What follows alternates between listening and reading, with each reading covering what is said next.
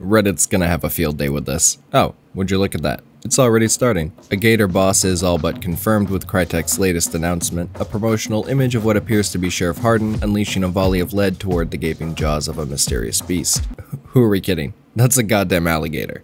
But that isn't all. The image is also accompanied by text that reads, Amidst the downpour, a new danger lurks beneath the surface of the swamps. Its teeth gleam like diamonds in the dark, poised to strike at any moment. Are you ready to dive into the unknown? So yeah, if it's not a gator boss, I'll soon be broke from all the therapy needed to fix my subsequent trust issues. Now, I'm making an additional assumption here, but the mention of a downpour along with the rain depicted in the promotional image makes me wonder if a rainstorm might be a new wildcard map condition like the Inferno. I mean, they've been testing the wildcard contract mechanic using night maps for the last, what, two months? For those of you that haven't been paying super close attention to Crytek's socials, this image was only the latest installment in a series of teasers with heavy implications of Alligator. Not only did we recently receive those two Gator themed questlines, but we've also seen a couple of new trailers which placed a significant emphasis on something besides water devils lurking in the wet. And all of these things together line up with Crytek's discussion of the new roaming boss mechanic planned for the summer update. I'm very curious to see how the wild targets fit into the regular gameplay loop. Without the walls of a compound to provide the team fighting the boss some much needed cover, I worry the first team to fight the roaming boss will also be the first team to get their brain functions terminated by a bullet.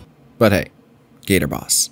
Speaking of teasers, here's the one I made for the end of my submission to the Hunt Showdown Video Awards. Just kidding, nobody wants to see that. Fucking subscribe!